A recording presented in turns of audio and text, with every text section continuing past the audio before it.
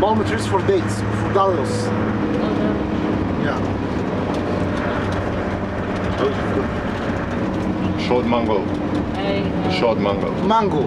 There is here also mango. Okay. Yeah, but it's not the trees of the mangoes. So when we go to the restaurant, we can ask for mangoes if you want the fresh mangoes. Look, she likes it, I think. I want to try it as well. It's very very delicious. This is fresh one. Just just uh, squeeze it from the from the fruit and we, we make it for you fresh without any water or without anything. Oh, that- that's nice.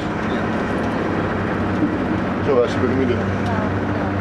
Now here in Egypt there are a lot of fruits like guava, like uh, banana, like peach, like uh, apples, like uh, watermelons, like dates, like uh, pineapples, also here, or sweet melons, watermelon.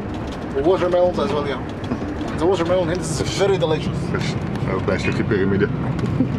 It's hard to film uh, Yeah. on that side.